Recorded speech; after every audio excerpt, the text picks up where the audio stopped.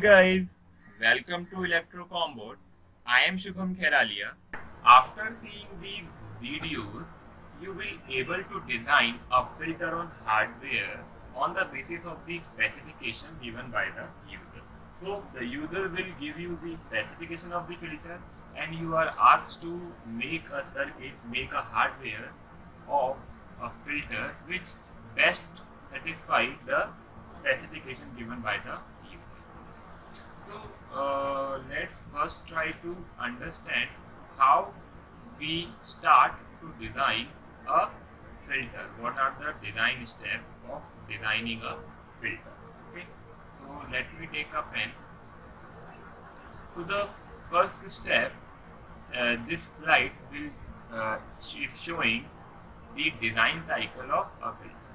So the first step of designing a filter is to get the specification from the user in terms of attenuation and edge frequency. Okay, so user will uh, give you the specification of the filters in terms of attenuation and edge frequency. What is attenuation and edge frequency? We will discuss it later when we actually design the.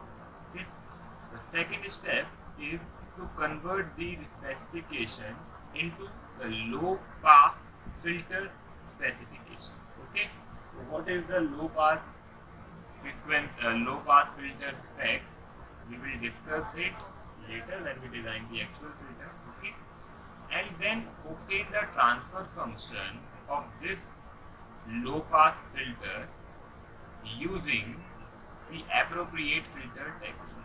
The appropriate filter technique means we, uh, we have uh, various kind of filter techniques like Butterworth filter technique, Chebyshev filter technique, Bessel filter technique, elliptical filter technique. Okay, so in this step we will obtain the transfer function from the given specification that are given by the user using appropriate filter technique. Okay. The third step is to obtain the transfer function of the original filter from the transfer function of the low pass filter using appropriate transfer function. So in the second step we have obtained the transfer function of the low pass filter. Okay. So for example if the user want to design a, a user want you to design a band pass filter then you will first convert the specification of the band pass filter into the into specification of the low pass filter how we will do that we will discuss it later and then you will find the uh, transfer function of the low pass filter then you will transform the low pass uh, low pass filter transfer function into the original transfer original filter transfer function that is the band pass filter transfer function in this case during the appropriate transformation okay? How we will do that we will discuss it later. Then at this step I have the transfer function of my original filter that I want to design. Then what I do I will make the frequency response of this filter using the transfer function that I have obtained in step 3 in MATLAB.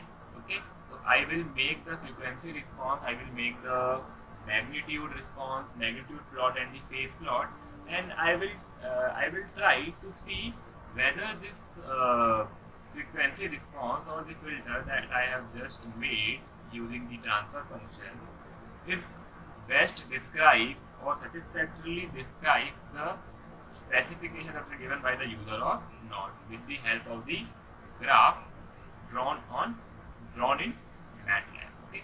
So if the specifications are made by the transfer uh, by the frequency response, then I obtain the circuit from the transfer function. Okay.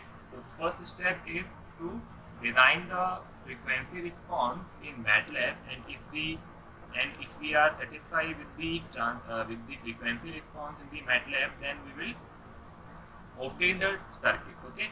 And if we are not satisfied with the frequency response then we will check the derivation of the transfer function that we have done in the step number 2 and step number 3 okay?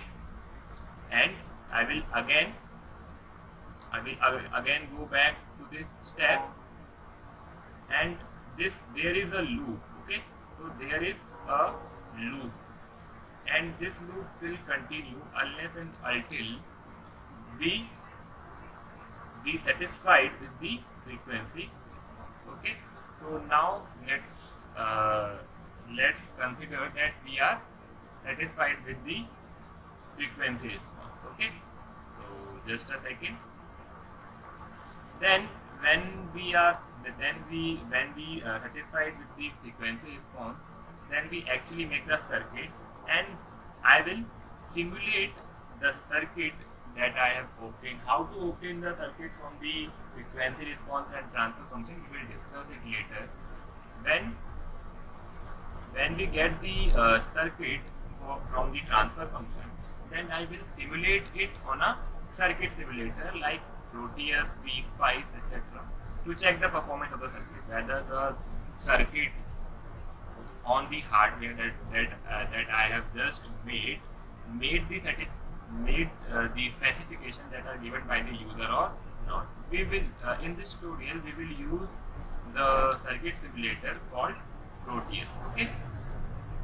So if the specification of by the circuit are made, then I will go to this step to implement the circuit on the actual hardware. Okay, this is not the actual hardware. This is the simulator. Okay, and if and once the simulation results are uh, perfect according to me, according to the designer, then I will actually implement it on the hardware by using the actual component resistor, capacitor, op amp, etc. If the specifications are not met, then I will check the values of component that are used while uh, obtaining the circuit from the transfer function.